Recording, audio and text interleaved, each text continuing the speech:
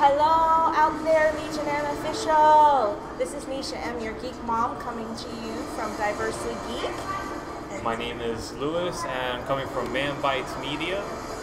And we are going to give you our feedback on. Well, I think maybe our faces might tell you how we feel about the film. Even Um, your face is telling you. My face is. Yeah, yeah, yeah, Mr. Uh, so I'm the expressive one, right? He's the um, listen, I um, went into the movie expecting to not not like it, but I'm really not a horror genre fan. Whereas I am a massive, massive horror fan. So we're the two sides of the spectrum. Um, I don't know. Maybe I'm more seasoned now, and I'm seeing. I'm, I'm, I have a different viewing perspective. But I did go into it with uh, with my background, which most of you know is huge science nerd. Lots of um, psych and psychological and um, I approached it with the filmmaking aspect of it. yeah, and I approached it from the this of course the psych side of it everything. So um, I really liked the film. I liked it a lot more than I thought that I was going to, but it had me thinking quite a bit. I was doing a lot of hmm. so, I found myself doing that too, and honestly, this is probably one of the best films I've seen in the last probably at least a year, and I'm saying that because it hasn't sunk in yet. It's one of those movies that I want to watch this, let it fester for at least a week or two, and then go back and watch it again.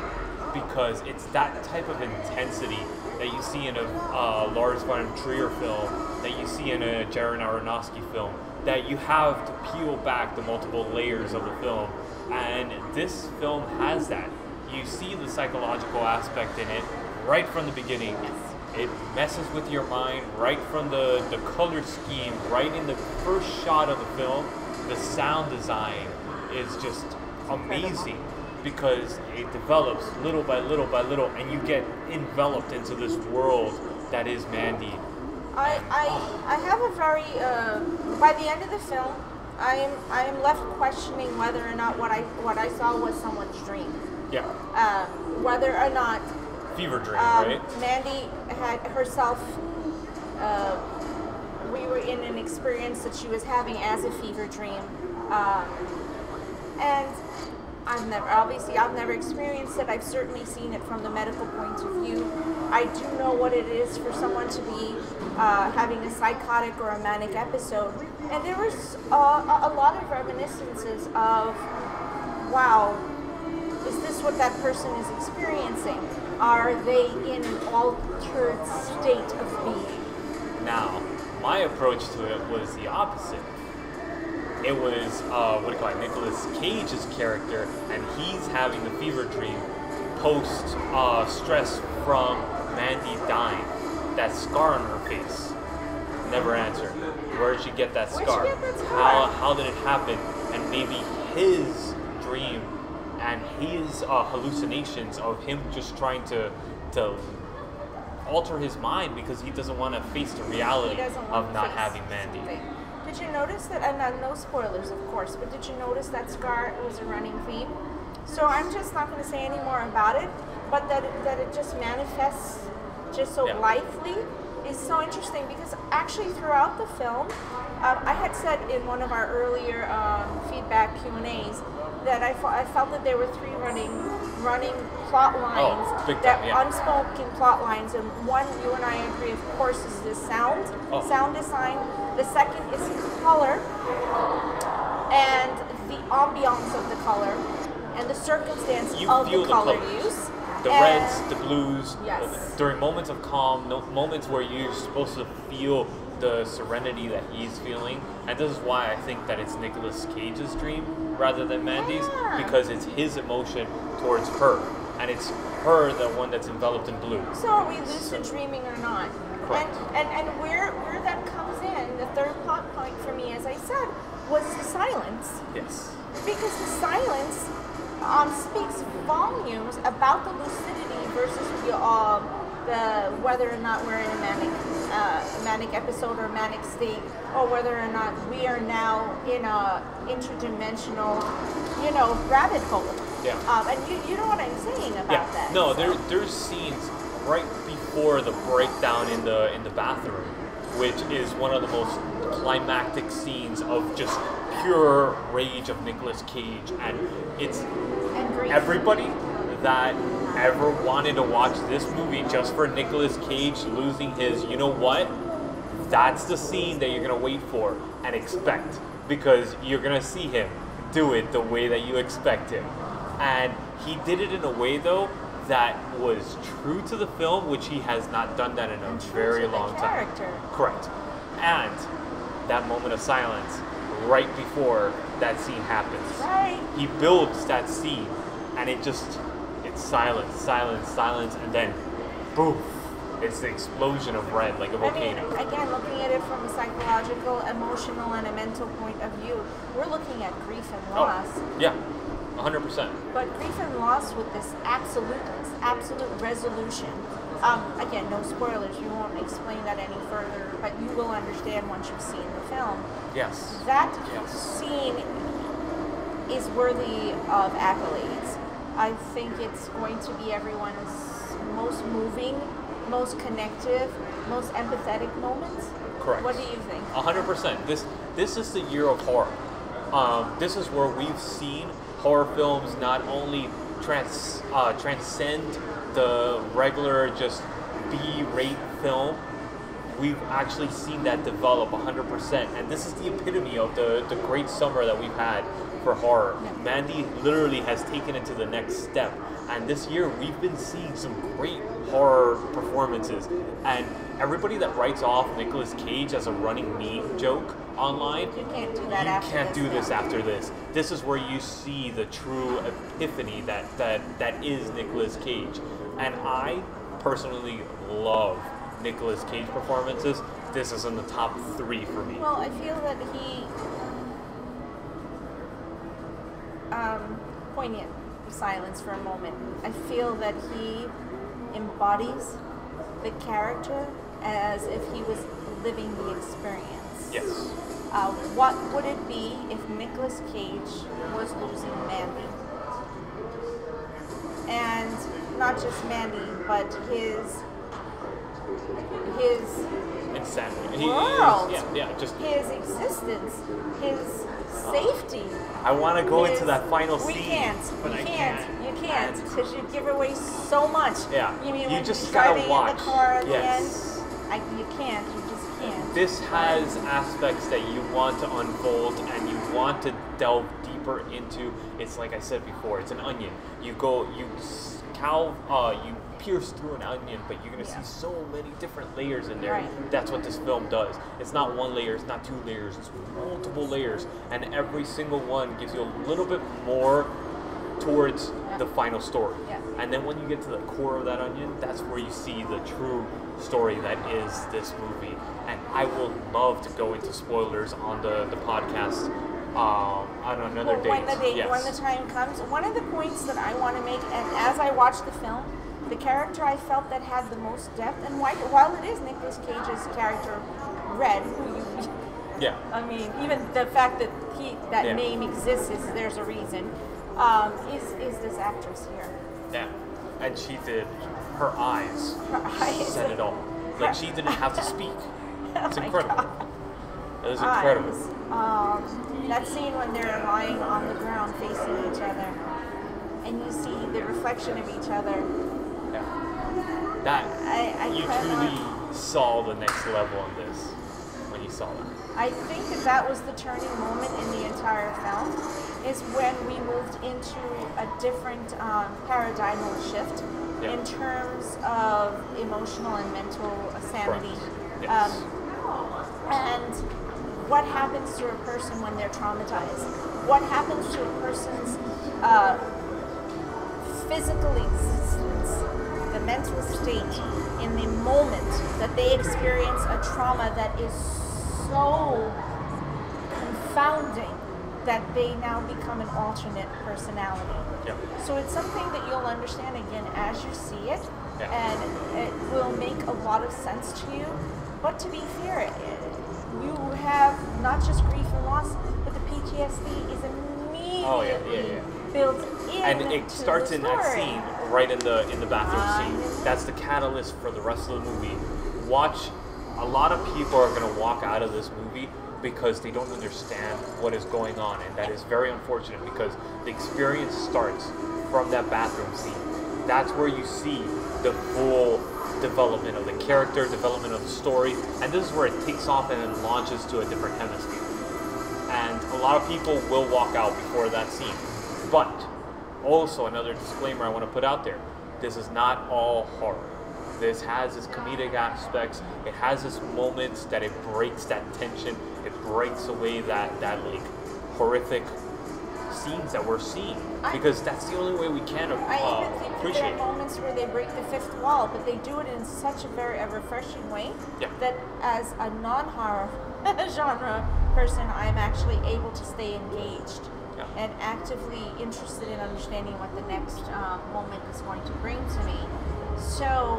also every character is not wasted. Every single one, the sirens. I, I just yeah. cannot. I these actors, the entirety And actresses. of these actors, well, actors is a, a term for both because we don't always, yeah, it's a, across the, the gender spectrum. Um, they, they, jeez, I mean, Yeah. they have almost, they almost say nothing.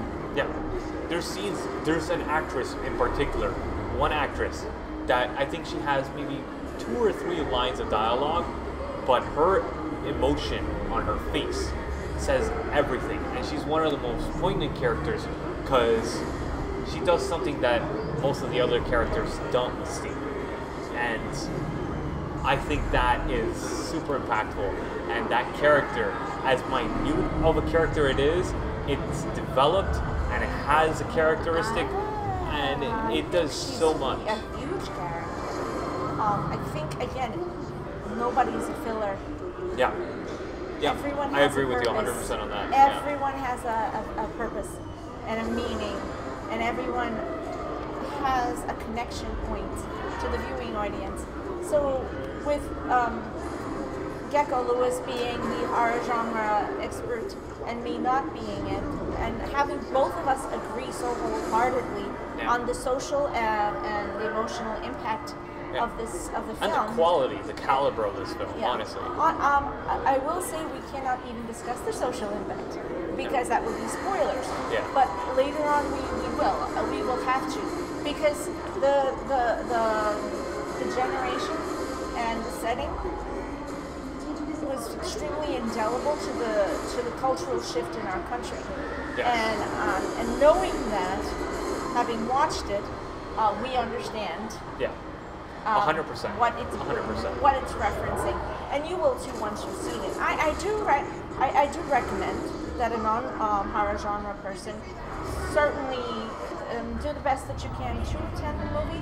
Um, give it a watch, even though it doesn't look like something you watch, because I feel that there's some um, social and um, emotional relevance to you as a person.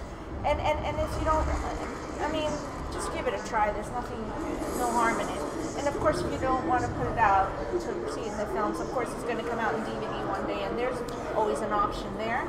But before you go there, like we said- this is a major theater experience. This is something that you will enjoy. The sound, sound is quality in particular. The sound quality in this film is riveting, and it literally like shakes you to your bone. Yeah. And if you don't enjoy that in a movie theater that's playing it the correct way, the, the visuals, yes, you want to watch it in the theater, but you can't kind of appreciate that in a in a home setting. But the sound, Honestly, the unless sound. you have a, an extraordinary sound system, you will not pick up the little nuances that this film does with the sound. And the score is, bar none, one of my favorite scores in the last three or four years. It's it's phenomenal. Yeah, it really is. Um, So honestly, yeah, yeah. From the moment you start, yeah, it, it's extremely eerie. Uh, honestly, I give this probably a probably a 9.5 out of 10 for me. Yeah. Um, we are very lucky that we're getting the opportunity to score on Rotten Tomatoes, having Yeah. um, gotten to do the pre-screening, and I'm not sure how to score yet. My, my brain really has to bring myself through it. I would probably stay in the uh, 8.7 to 9 spectrum myself. Yeah. Um, I tend to score a little harder. I'm so sorry, guys. But uh, but but uh, uh, you know, I'm really. I'm extremely critical about what, rating my movies, he is. and he is like so hard is- on everything. So yeah.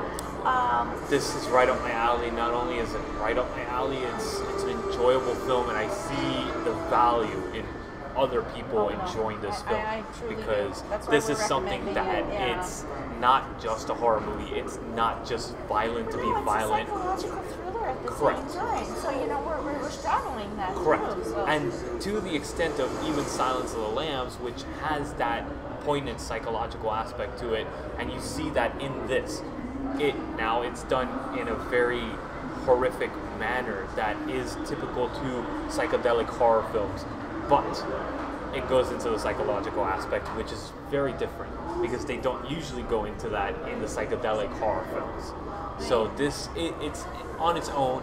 It's something out of the ordinary. It's Yeah. something completely unique, and this is this is going to set the bar, honestly, for horror films. I actually think so. It's going to set the bar um, very much so in terms of what SpectreVision brought to us. Yes. um, and what Legion M is supporting. Uh, um, as a Legion M member, I can completely understand their their choice to support this film and to be part of the production. Yeah. And then um, and Elijah Wood's decision to actually support us as well. He spoke to us about Mandy at the uh, panel at, Me- at MegaCon Orlando Oh, this really? year, Yeah. and I didn't realize that he was referencing this and why. So I do have some sound bites as to why he chose to support this as a as a producer, and now I can understand where he's coming from. Yeah. So This is not just a horror film. yeah, no, not at all. not. And I do. So- I'm playing it back in my head as I'm, Yeah. I'm talking to you. Um, So if you haven't seen it yet, go watch it. It's released uh, today, Thursday, um, but you're able to watch it all any theater out there right now, and it's it's definitely something that you want to go out and watch because it is phenomenal. Yeah, no, I am actually gonna see it again Yeah. because we've been already requested to host the second meetup for Legion M official um, Nice. by the fans who attended our first one tonight. Yeah. Can you imagine? What does that tell you? Um, so that'll be going up pretty soon on the Diversely Geek um, events page. Guys, anyone who would like to join us for the second meetup, please absolutely get on the page and know that you'll also be part of our feedback um, that goes to Legion M Official and to the production, the casting crew. Yep. And um, I, we welcome you being part of our, our journey with Yep. Legion M. Um, and welcome to the movie experience, I guess, Yep. huh? Yep. I, I honestly, I just came back from vacation and I just we just drove five hours and we came straight to the premiere, and I don't regret it for a moment. It is.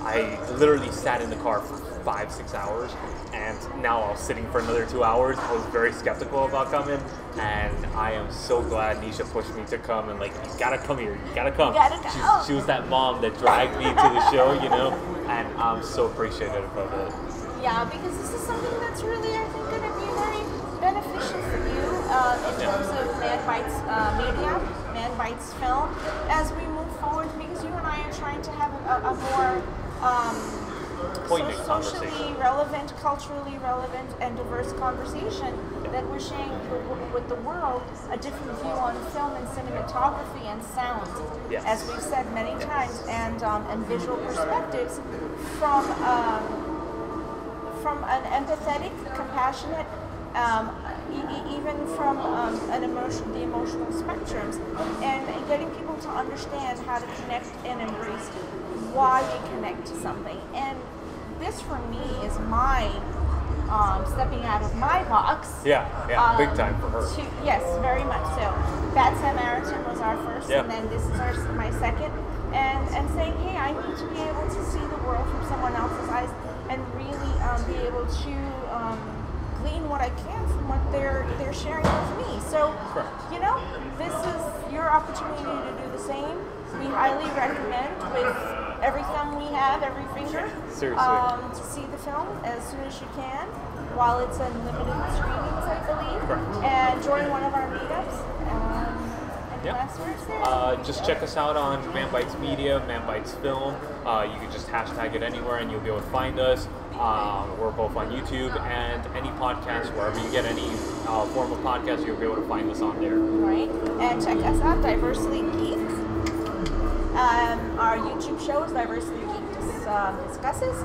And we also have our Diversely Geek Discusses podcast that we'll be sharing with Man, Man Bites Media as we host those discussions Yeah. we just we just um, talked about, and we bring you this type of perspective on Correct. what the diverse geek world has to offer you guys. So, as always, from Diversely Geek, we love And you Man Bites Media.